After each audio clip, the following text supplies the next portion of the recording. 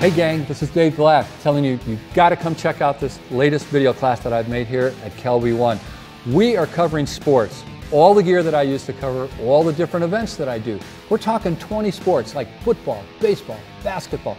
We're talking volleyball and Olympic sports like swimming and gymnastics, track and field. They're all going to be in this video.